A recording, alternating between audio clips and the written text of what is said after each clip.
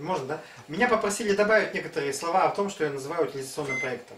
Утилизационные проекты за следующими. Когда у тебя есть определенного отброса интеллектуальной жизни, которым по большому счету мы являемся, определенного способа, компетенции, умениями, которыми мы обладаем, которые не нужны, и единственное, которое, что с ними можно поступить, все это дело слить в унитаз. И когда вот эти фекалии, те самые, плывут, интеллектуальные фекалии, плывут по реке в том направлении, в котором полагается плыть, утилизационный проект подразумевает в том смысле, что они не просто плывут так себе, а становятся, скажем, как журавли клином и изображают себя, что они здесь не просто э, стекают, но еще и э, занимаются Красиво красивым, красивым и интересным делом. Что они не просто фекалии, но они еще живут, думают, дышат, что-либо еще. Именно под этим я и называл, называю утилизационным проектом. Вот именно такой способ построиться клином и куда-то там плыть. Да, то есть на самом деле, когда я пытался тебе противоречить, я, я-то думал, что ты за стоишь, как бы и высказываешь. Да я за, да я за, потому что так плыть, плыть клином все-таки гораздо интереснее, чем плыть поодиночке. И, и, без, и не фигурно, не А вообще, говорю, в последнее время вообще наблюдает у тебя какой-то какой-то пессимизм странный там у тебя. Ну, Интеллигенция, это... говно нации, как бы. И вообще вот эта фекальная тема, она у тебя как-то всплыла там. Да, всплыл, да, всплыла. То есть, то есть, как бы, условно говоря, конечно, можно вот так поворачиваясь направо и налево, говорить, что вот это, это говно, и вот то говно, и вообще все говно. Но, но боюсь, что это, может быть, характеризует больше того, кто так высказывает, чем то, что. Нет, возможно. На, на, на, на что ты обращаешь и, внимание? И, и чувство такое, знаете, ну не то, что неудовлетворенность, чувство усталости или привычки вроде бегал, ходил, играл, а вот... Да, причем Игорь-то на самом деле ведущую роль там играл, как бы, это, я-то был участником событий. Играл, а ощущение вот такой опустошенности и бессмысленности и понимания, ну какая разница, в, в какой форме ты плывешь по реке, да? Ну проплыл так, да. Так проплыл. То есть ну, на самом деле, когда Игорь рассказывал о технологии, да, знанию реактор, там, об этих расстановках и этих стратегических игр, на самом деле э, надо было как-то почувствовать в, этих, э, в этом рассказе нотки пессимизма какого-то, да, общего какой-то усталости, да? Так на нашу Ну, наверное, надо было почувствовать. Ну, просто... Потому что ты как-то так меня... бодро рассказывал, как здорово мы играли. Меня, меня просто потреб... попросили э, сказать еще несколько слов что я понимаю под Нет, ну просто какой-то вывод подвести, потому что из того, что ты говорил, мне показалось, что ты... Что, мне, мне, мне больше всего показалось, что, восторге, что да, все-таки, что всякие события это гораздо больше утилизационный проект, чем что-либо другое.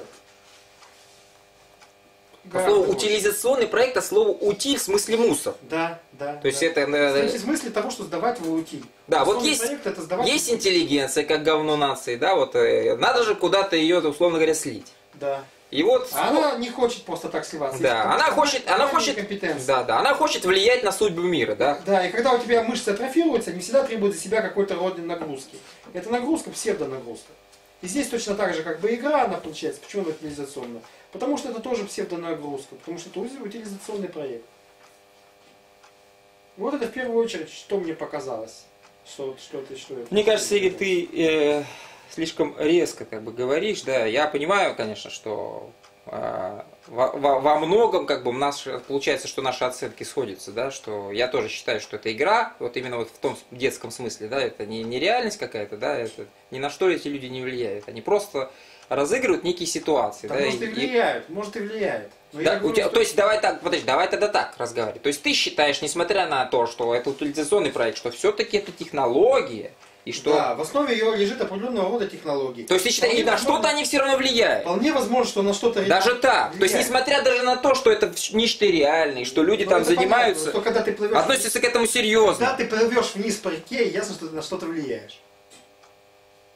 Что ты не просто так плывешь, а у этого есть еще определенного... Не, вы заметьте на самом деле саму ситуацию. То есть Игорь считает Э, этот проект утилизационным не потому, что он как бы там глупый, да, да. представляет собой, как вот я считаю, детскую игру, да, да. А, именно, а, а, а несмотря на то, что он является достаточно серьезным, и может быть влияет на судьбу мира, и может быть действительно там достигается некие это, понимание того возможного будущего, которые там, ну, некие альтернативные, э, альтернативные проекты будущего рассматриваются. Да? Несмотря на все это вот возможный, несмотря на всю эту возможную продуктивность, тем не менее, заметьте, да, тем не менее проект является утилизационным. Да, тем, то есть какое-то здесь есть противоречие. Потому что если это серьезная игра, если она действительно влияет на судьбу мира, то мне кажется, так относиться к делу нельзя.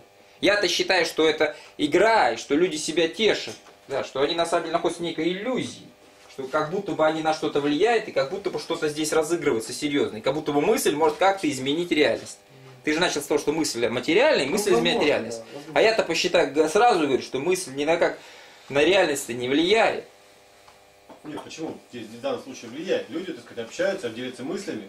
Какие-то мысли они потом несут дальше в мир следующие. Но только это не происходит. больше людей соберется, там, если соберется там, тысяча человек, то понятно, что эти тысяча человек после этой игры каким-то образом поменяет вокруг себя мир. Это все понятно, но это не происходит так, как, э, как Игорь. Это... Да, не в том смысле, что тысяча человек собралось на площадь, дворцовые облака разогнала. То есть это не магия, не магия. А, а тут пол- получается... Люди изменились после это этой все- игры, все- да. все- все- Получили новую информацию. Что такая псевдомагия, что собралось тысяча людей и облака разогнали. Да, и речь А идет о некой а магии. собралось-то тысячи людей, они мир перевернули. Ну да. Ну вот А представьте, Так, так и а произошло какой- уже. как, А чувак, который заполз, Революция на Украине, заполз вот тебе, на пожалуйста. столб, на столб, типа того, что, как известно, этот вырецкий столбник, встал на столб, типа того, что. Один человек поменял мир. Да, и вырицу не тронул. Не, опять же, что Вот интересно. Иисус, Иисус Христос Опять- не, самое что интересно, человека. Игорь считает, что этот столбник это, это эффективен вот буквально в реальном смысле. Но только не- несмотря на это, он как бы какими-то издевательскими нотками к этому подходит, опять же. Да. То есть, несмотря на то, что он действительно реально что-то изменяет, он стоит на этом столбе, может быть, выглядит с точки зрения современного человека глупо, но тем не менее он что-то делает, он Да. активен, мир меняет. То есть я не настолько наивен, что говорить, что хорошо намаленная икона а, не обладает никакой магической силой. Да, да. То есть, Обладает, обладает. Я говорю, что она обладает. Вот мне вот это интересно, что несмотря на то, что Игорь считает, что магия реальна, ведь речь идет о некой магии, собрались люди, да, сыграли стратегическую игру, и благодаря этому действию возникло некое магическое, да, и оно это магическое где-то что-то изменило, изменило там в мире, расстановку некую изменило. надо просто поаккуратнее со словами. То есть у нас просто э, определенное отношение к словам, там магическое, там. Не-не-не, э, магическое метафизическое, именно и имеет тот характер, что э, магическое что это такое? Это когда своими действиями и прежде всего своими мыслями ты меняешь реальность. Я имею в виду сказать, какими своими действиями? Не, те- не настоящими действиями, а какими-то пассами, там, знаешь, там, какими-то там, это, а, ну, Магия, Стояние на столбе. стояние на столбе, да. Познанного ты меняешь Стоя-. Стояние на Нет, столбе, да. у тебя есть какие-то вот твои личные возможности, да? Может ли один человек изменить мир? Что он может сделать? Ну, Он не- сильно на него влияет, например. как он может влиять? Ну, может стать вождем, да? Ну, это понятно. Если он, если он вождь какого-то племени, он действительно Может, может может, может пруд вручную выкопать. Может быть, может реально что-то изменить. Но если он просто обыкновенный человек, вот просто самый, самый про- простой обыкновенный, что он может сделать? Ну вот стать на столб, да? И стоять, допустим, 20 лет. Вот изменит он мир или нет? Игорь считает, что возможно так мир меняется. Понимаешь, но несмотря на это, он все равно считает, что это как в каком-то отношении э, утилизационный проект, так он говорит. И даже это к столбникам это тоже относится? Че? Ну, столбником не так сильно. Столбником, ну, не знаю. Тоже в известном смысле утилизационный проект. Взяли чувака на столб, загнали. Подожди, а хорошо. собираюсь Для того, чтобы понять все-таки вот это вот... э, Утилизи- Утилизировать его собирали. понять твою утилизацию, давай вот расскажи, что бы, что бы означало неутилизация. Неутилизационный проект, что бы мог означать? Вот, вот, допустим, точно так же собрались люди, там, я не знаю, специалисты, что ли, кто собрался? Как и, надо... и, и космическую ракету строят. Это не утилизационный То есть чисто инженерное. Чисто инженерное знание. Взяли космическую ракету построили.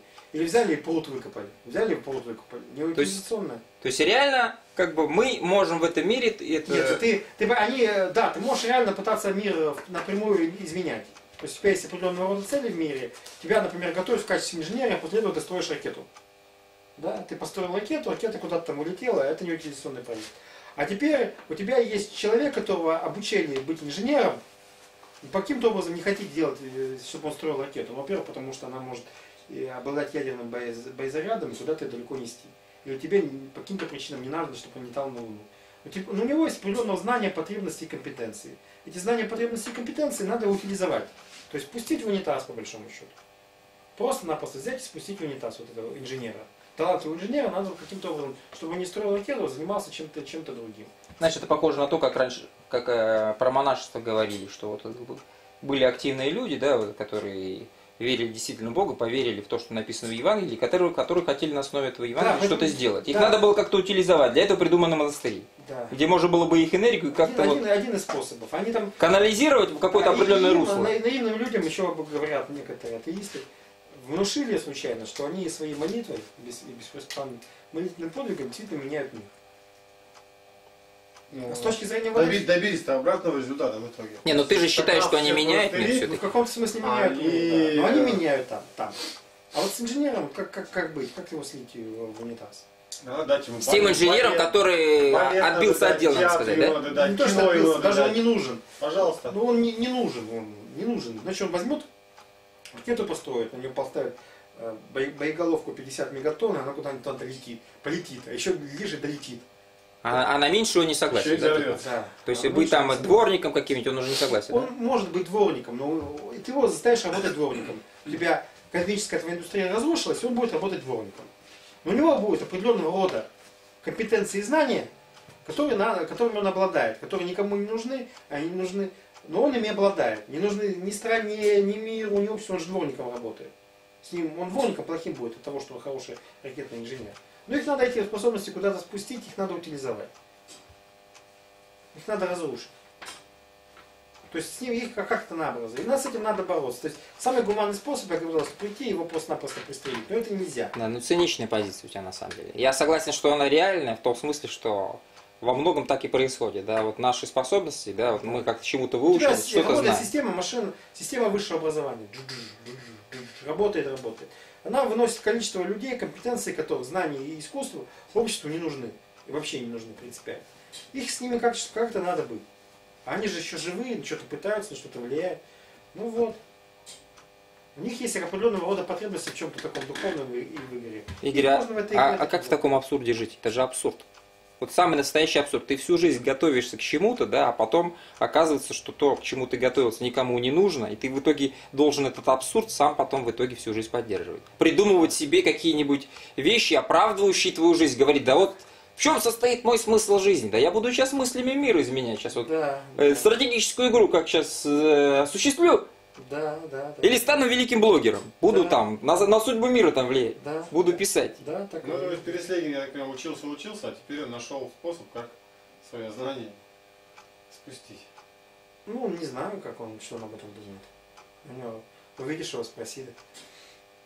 Он создал реактор, ну, как, как, как, как, Не, как игрушку, от которой он балуется. Еще обратите внимание, при всем при том, что это не какие-то мысли мрачного какого-нибудь философа, да, человека, который приходит сюда, чтобы вот все и вся, так сказать, а- а- это а- осквернить и захай, да, сказать, что вот то плохо, другое плохо. Вот посмотрите на него, там, он доволен жизнью, да, вполне как бы говорит спокойно об этом, прекрасно понимает, что это его тоже лично касается. И ничего, как бы, то есть правду говорить легко и приятно, да, вот так вот можно было бы высказаться. Ну это же, Игорь, как-то грустно.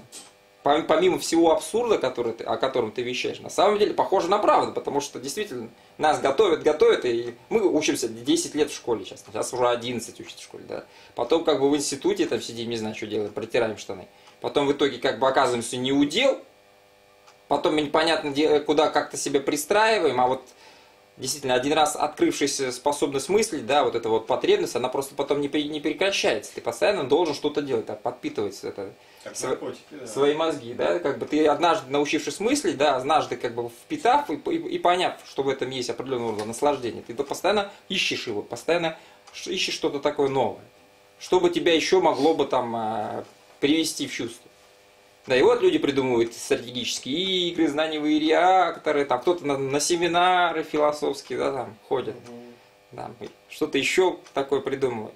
То есть все это ты не рассматриваешь как то, что люди пытаются что-то сделать. Да, вот есть некий, как вот я говорил об активизме, да, вот есть некое желание быть активным в этой жизни. Потому что когда ты становишься пассивным, ты просто чувствуешь, что тебя нет. Есть все, вот вещи есть, они на тебя напирают, а тебя нет лично, вот тебя нет. То есть ты так это дело не рассматриваешь. Ты рассматриваешь это дело с другой стороны, что как бы изначально на мы уже как бы вот мусор какой-то, да, вот и, и пытаемся изобразить, что мы как бы не мусор там, да, как бы, а, что, а вот такая вкусная конфетка. Ну да, да. Да. Ну это, я ма- мало того, что это самокритично, это как бы, ну, ну это возможная точка зрения, да, и как бы, особенно если взглянуть, да, все же познается через результаты, да, если взглянуть и спро- и спросить, что вот, как бы, че- какие плоды от того, что вот мы проявляем активизм? Ну, какие могут быть плоды? Ну, пока никаких. У нас в смысле философии поле выровнено там. Ничего не растет, там никто не хочет там ничего делать, особенно так.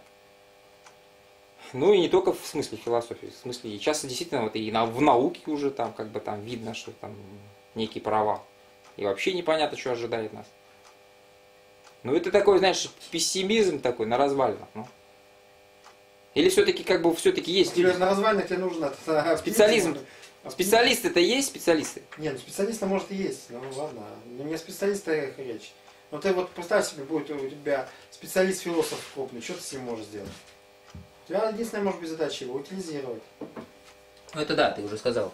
У тебя нет, нету другой задачи. Как у тебя, если у тебя стоит страна, в Задача, ней... задача чья? А? Чья задача? Ну всех. То есть как бы Общество. специалист, тот, который вот, ты, Общество, про которого общество. ты говоришь, зачем? Ну, общество, Общество. общество, я думаю, не- специалист себе такую задачу не ставит.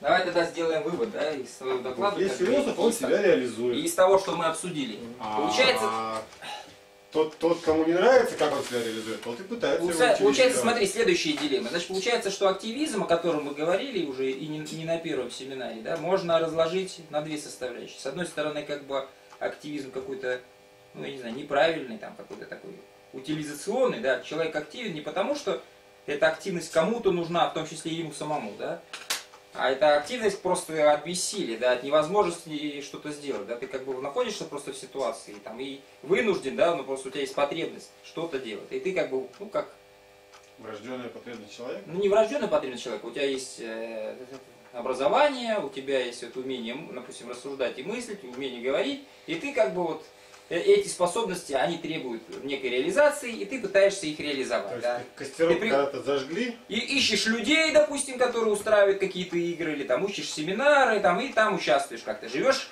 то, что называется интеллектуальной жизнью. Это называется утилизация. Вот это первый смысл того, что можно было бы назвать активизмом. Да? И есть второй смысл активизма, который, собственно, я придерживаюсь, да?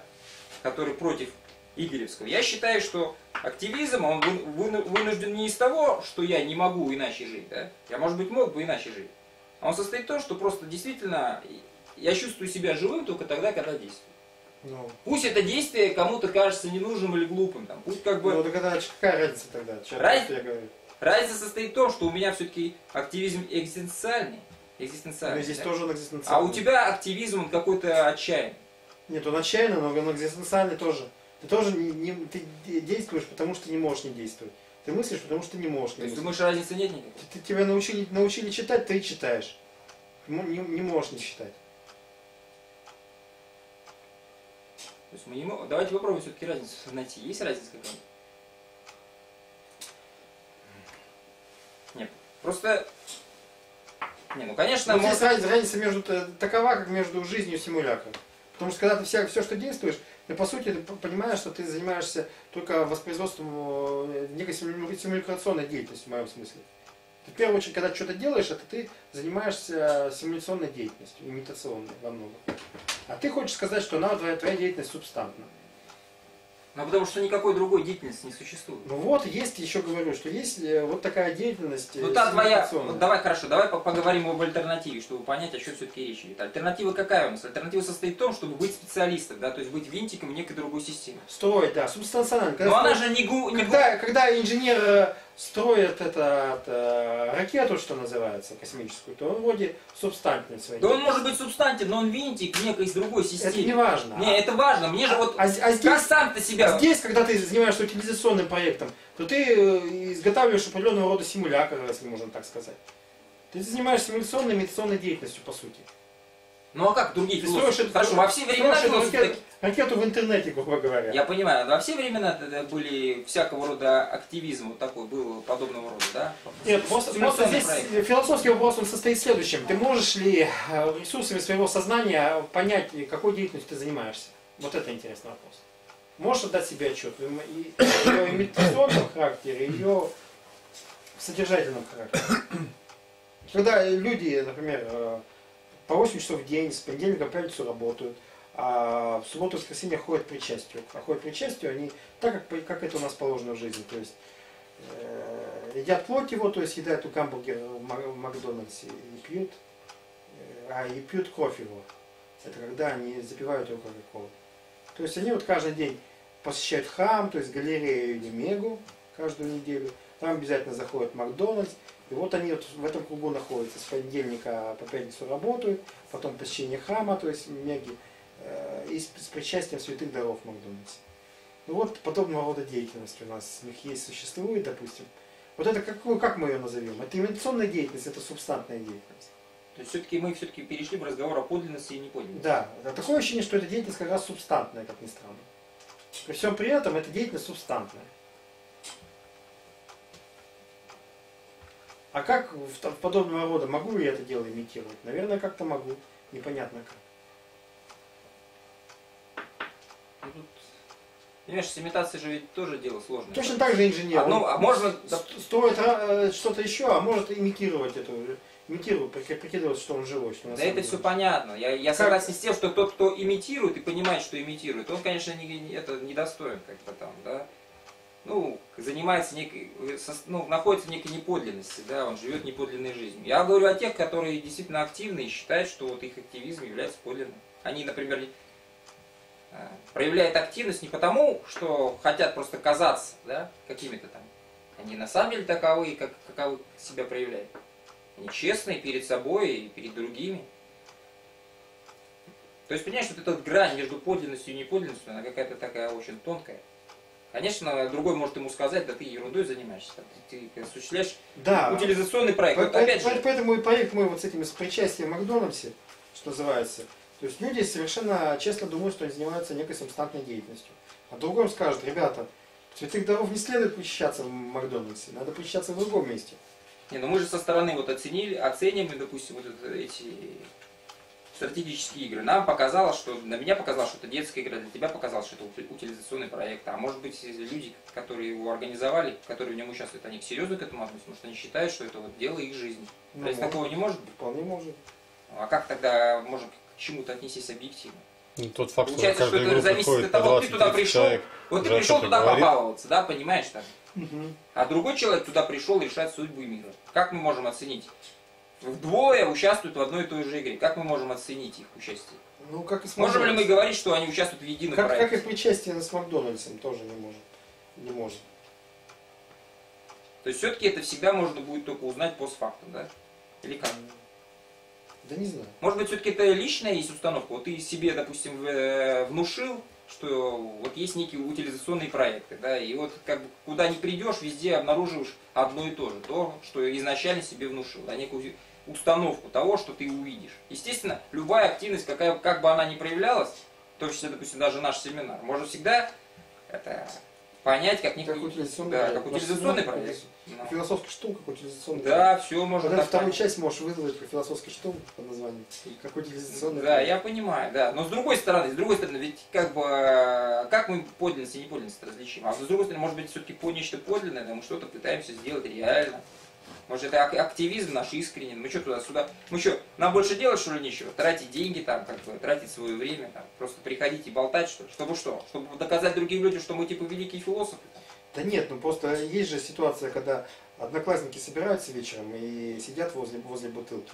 А поскольку мы заканчивали 45-й интернат, мы сидим не возле бутылки, а сидим возле Декарта. Ну, это а то, что одноклассники собираются, это все-таки здесь, наверное, фактор случайности. Просто никто друг... при- приезжали к нам другие люди, не одноклассники, как-то не прижился, там не нравится, что-то им не нравится, не могут за них писаться.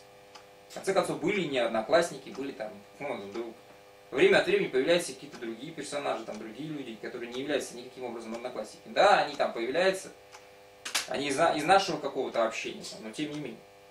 Во во многом, может быть, мы и сами виноваты, мы пытаемся значит, на это как-то там все продвинуть куда-то там дальше.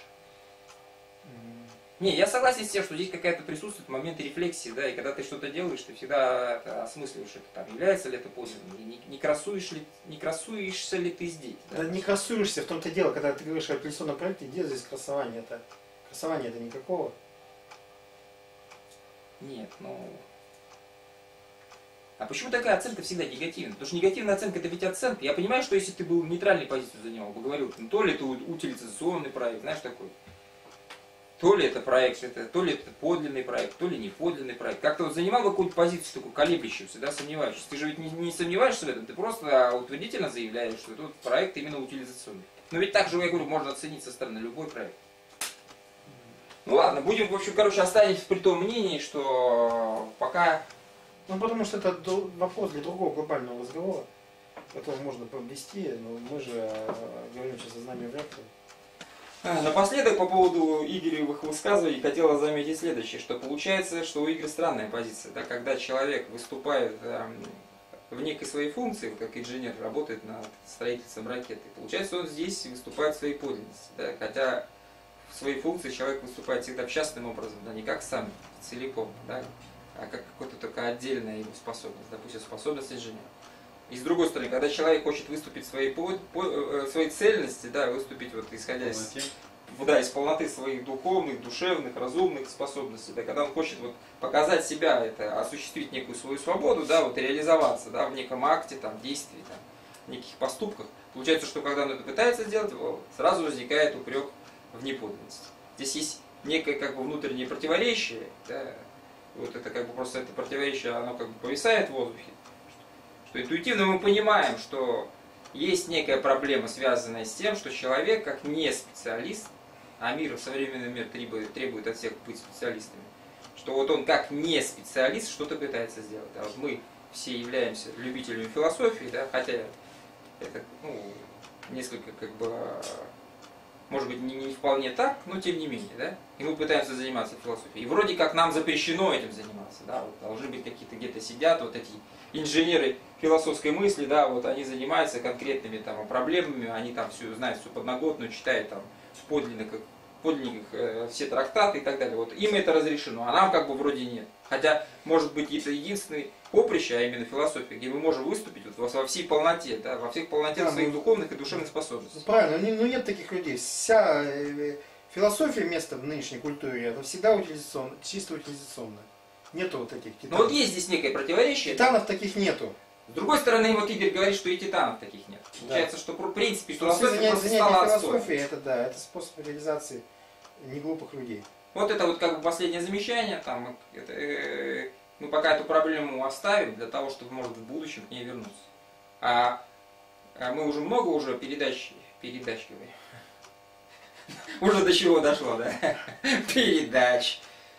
Мы уже много семинаров посвятили активизму, да, но вот эта тема у нас теперь сквозным образом двигается, да, возможно, в будущем мы выйдем на некое понимание того, что собой представляет активизм в современных условиях.